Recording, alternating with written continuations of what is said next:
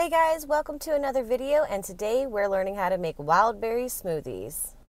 For today's video, we're going to need a blender, 2 cups frozen mixed berries, 1.5 cup vanilla flavored Greek yogurt, 2 cups milk, and whipped cream for topping.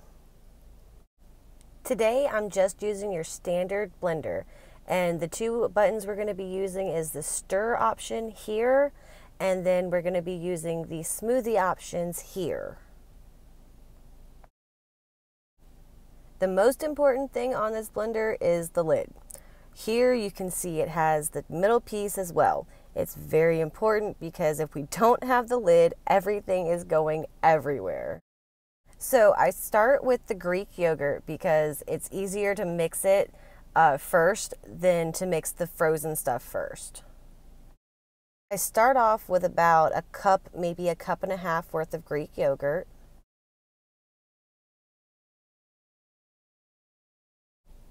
Then I go ahead and add my two cups worth of milk.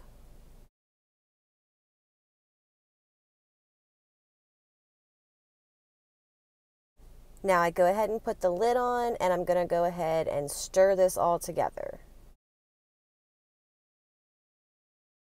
Now I'm going to add the frozen berries, but I'm only adding a cup worth now.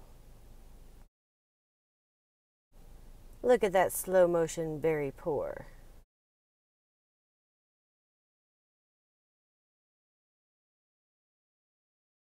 I replace the lid first, then I hit the stir button, let everything kind of mix together, and then I move over to the smoothies button. I just wanted to point out here that you can actually see the color changing. It's going from the white color to a light purple. So I'm going to go ahead and take the lid off and check the consistency and it's still really watery. So now I'm going to go ahead and add the other cup worth of frozen berries.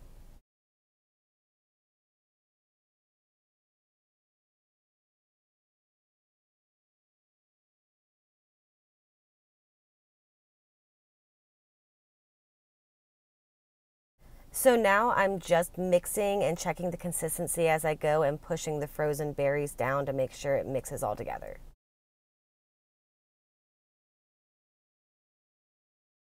Here again, you can see the color changing going from a light purple to a dark purple.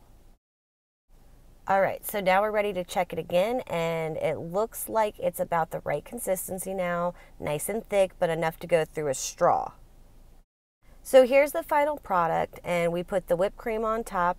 It, of course, adds aesthetics, but it also helps to keep with the sweetness. So guys, I hope you liked this video. If so, hit that like button.